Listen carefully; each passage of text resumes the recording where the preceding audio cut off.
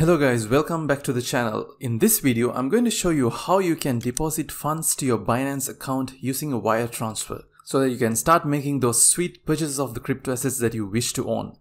So for this tutorial, I'll be using my Binance mobile application to demonstrate this to you guys. And the type of fiat currency that I'm sending over will be US dollars. Alright, now I'm on my Binance mobile application and what I'm going to do is I'm going to head over to wallets and I'm going to click over here on deposit. And as you can see over here we can either deposit cryptocurrencies directly in which case you will be actually getting an address corresponding to each of the different cryptocurrency that you're trying to deposit. But in this case since you're trying to deposit fiat we can click over here.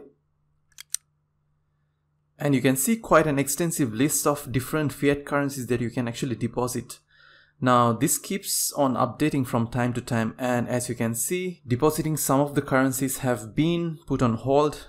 For an example you cannot directly deposit uh, Canadian dollars at the moment. As you can see it has been suspended.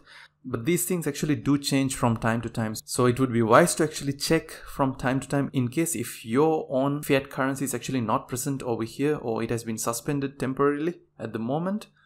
So in my case I'm going to deposit US dollars. So I'm going to scroll down and right over here you can see the option USD so I'm going to click over here. And basically for me the only available option is a bank transfer in the form of a telegraphic transfer. We also call that swift transfer. So what you'll be getting is swift code corresponding to a specific bank. And you can initiate that wire transfer from your own local bank. So I'm going to click continue.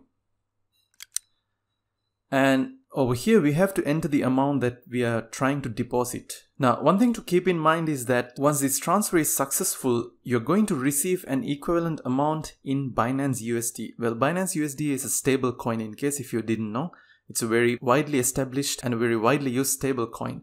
So for example, if I were to maybe deposit 6000 USD for example, you can see that it indicates that I'll be receiving 6000 BUSD. Now, this is totally fine with me because in case if you want to convert this Binance USD into another stable coin like USDC or USDT, you can simply do that within Binance app itself.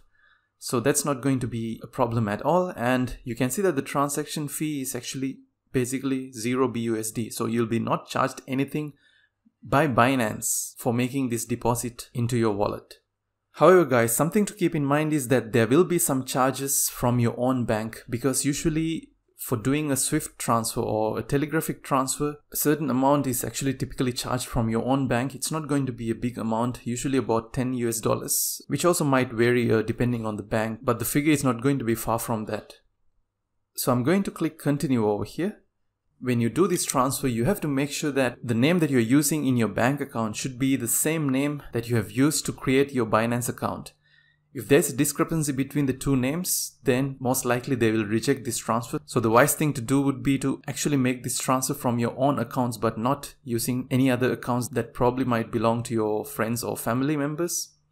So that's the first thing and the second thing is fairly simple. You just have to make sure that when you're doing this transfer, you have to put in the special reference code the, or the unique reference code that Binance will be actually giving you so that it'll be easy for them to identify that this particular transfer actually belongs to you.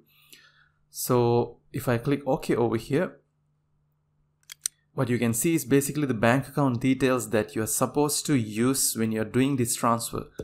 So the beneficiary account name is Keyvision Development Limited. You have the bank account number and the address and this is a Swift code corresponding to this bank. Signature Bank is actually one of the crypto friendly banks located in the US.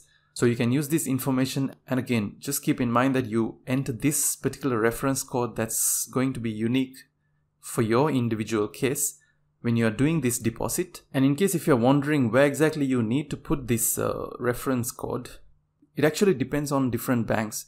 In some banks, they name it as beneficiary account description or in some banks they might actually name it as the reference code or something of similar nature. So you can simply fill that in along with this other information. And guys, in my case, I deposited 6000 US dollars into my Binance wallet. And once you have initiated the transfer, it might take about 3 to 4 days for the transfer to get executed. And once Binance receives your USD amount, they will actually send you a notification like this saying that your deposit has been received and an equivalent amount of BUSD will be released to you instantly. So guys, that wraps up this video. I hope the steps were quite clear for you guys, but if you do have any questions, you can actually add a comment down below and I'll get back to you as soon as possible. And if you do like this kind of content, you can always consider subscribing to this channel as well. In that way, you'll be notified instantly as soon as we publish a new video on this channel. So thanks a lot for watching guys. I'll see you again with another video very soon.